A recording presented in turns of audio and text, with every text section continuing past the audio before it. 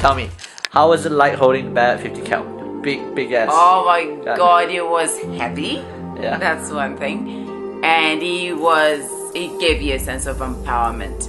It makes you feel cool and, you know, pretty badass. You work your muscles? Do you feel you got Oh yeah, I think I must have. You see that? You see that? That just like, I mean seriously, that just got worked. That, that wasn't there before? That wasn't there before at all. And now look at that baby.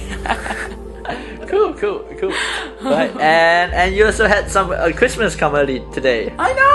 I got pre- pre- presents. I got like given like a desert eagle, like fake desert eagle, which I don't remember the name of. Yeah. awesome. Cool. Um, yeah, it was pretty fun. So on all, pretty good day. Yeah, pretty good day. Got, the shooting was a little bit short, but I think the Yeah. experience wise, I think Oh, you were having so much fun getting Yeah. into character and, and stuff. And the photos and the photos i think i think we did pretty well with photos according to the photographer. I think you did pretty well. All right this is mark and Aicha. But before you go Aicha tell us a little bit about when you're not cosplaying when you're not doing this. What do you normally do? Um, I'm an author.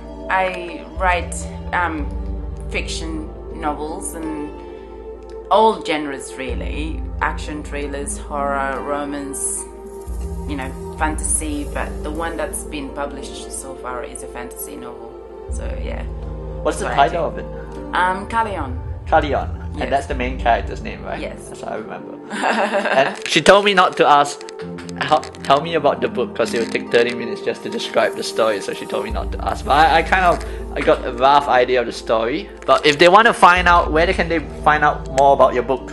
Um, any online bookstores really. Um, Amazon, Denial, and anywhere. eBay, it's everywhere. Kallian. yeah, Callion. Cool. Thank you so much. Alright, this is Mark Skater, and hopefully you see us at Gold Show with a couple more guys, all armed and equipped in cosplay. Peace out. Bye bye.